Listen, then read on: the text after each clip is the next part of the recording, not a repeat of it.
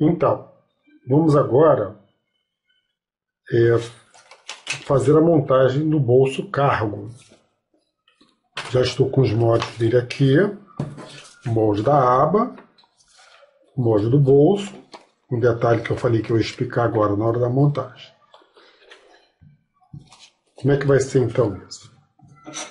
Lembra que, que eu fiz a bainha, eu modelei a bainha exatamente com essa largura? Para facilitar nosso trabalho? É exatamente isso que eu vou fazer agora. Olha só. A lateral já está costurada, já rebati com uma costura dupla aqui e vou fazer a marcação agora na bermuda da onde vai entrar o bolso cargo. Vou tirar a medida da bainha e vou posicionar o bolso cargo aqui. Essa partezinha dele aqui vai ficar solta e aqui costurada. Então como é que eu vou fazer isso? Eu vou substituir o papel agora aqui pelo, pelo tecido para ficar mais fácil. Tem dois alfinetes aqui que eu deixei já virado para não ficar fugindo.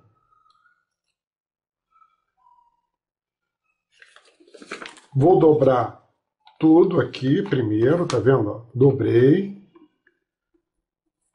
fecho aqui e passo a minha primeira costura fixando essa parte de cima aqui, que é exatamente onde a parte de cima do bolso, onde eu vou encaixar a mão. Então aqui, ó, já fiz, virei, passei a costura, já está aqui. O próximo etapa agora, eu vou fechar essas duas partezinhas aqui, ó, que estão abertas, deixando um centímetro de folga aqui. Então, olha só. Passo a costura aqui. Eu não vou pespontar, tá? Eu vou costurar em preto, porque a informação de pesponto eu só quero na frente e na parte de trás. Dividir aqui a metade. Posiciono a minha régua aqui ele já vai me dar exatamente a sobra de um centímetro que eu quero para cima. Eu já modelei nessa condição. Tá vendo? Aqui, ó. A modelagem já está nessa condição aqui, ó. Virei, deixei a sobra de um centímetro para cima. Facilitar sempre é bom. Marquei aqui, marquei aqui. Por que, que eu marquei aqui? Porque eu vou passar essa primeira costura aqui e vou passar a outra costura aqui. Então eu vou ter que fixar o bolso na calça. Então ele vai virar até aqui só. E vai me sobrar essa parte aqui, onde eu vou fixar, fixar com uma costura o bolso cargo na calça. Fixei o fundo do bolso já está preso na calça. E essa parte aqui, ó, eu quero ela soltinha, tá vendo? Então eu vou trazer uma costura dupla daqui de cima do bolso até aqui. Ficou claro? Repetindo, do início. Dobrei, passei a costura na parte de cima, Segunda parte, fecho a lateral aqui, passo uma costurinha aqui, em preto também, eu não quero ficar aparecendo essa costura.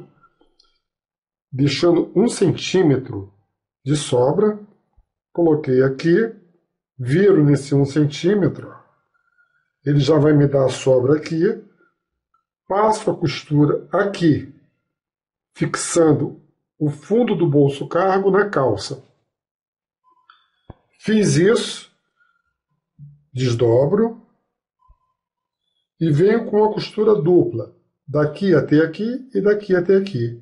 Então o meu bolso vai ficar fixo nesse ponto aqui, vai ficar soltinho aqui, como eu quero, tá vendo? Com essa abinha solta, e ele funcionando como se fosse um bolso normal, tá vendo? Aqui, soltinho. Eu vou dar um, uma pausa no vídeo aqui e já volto com ele costurado.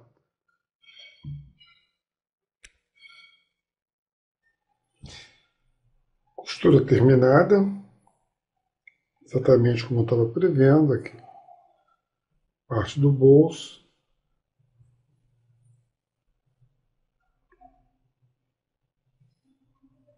Costura feita, costura dupla aqui. O que está faltando agora é colocarmos a aba. Bom, a modelagem da aba é essa. Ela vai entrar aqui, vai encaixar exatamente aqui com um centímetro, ó prático. Venho com a costura, corro a costura aqui e ela vai fechar aqui em cima. Esse acabamento você pode botar bolso ou não, é botar botão ou não. Eu vou deixar sem botão nenhum, só com a linha solta mesmo, para ela ficar no movimento. Isso aqui é cortado na dobra, nessa posição. Fechamos a dobra né, normal, a costura aqui, e depois eu já venho aqui e costuro direto aqui. Já tenho um aqui semi-pronto, falta só passar uma costura dupla aqui. Vou chegar aqui, ó, encaixar ele aqui, passar uma costura de um centímetro aqui, virar, e eu tô com ele pronto. Na verdade, eu não vou deixar muito encostado, não. Eu vou dar uma folguinha aqui, ó, de meio, um centímetro e meio, mais ou menos, ó. De meio centímetro, mais a costura um e meio. Vou deixar uma folguinha aqui ele ficar um pouquinho mais acima. Ele fica nessa posição aqui. Ele vai ficar legal. Então o que, que eu vou fazer? Vou fazer uma costura de marcação de um centímetro aqui. Coloco dois pontos aqui, marco meio centímetro com giz. Né? Faço a marcação aqui. Nada de muito complicado. Marquei faço a costura, faço o vinco e depois rebato uma costura aqui em cima só para acomodar isso aqui. Mas antes eu já vou fazer minha costura dupla aqui. Ok? Mais uma pausa, eu já volto com ele montado aqui.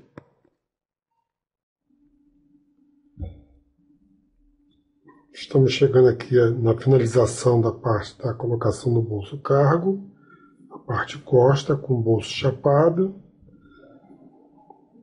bolso cargo aqui, parte da frente. Como ele ficou. Bem legal. E agora fechar o entrepernas partir para a colocação do passante. E um detalhe aqui.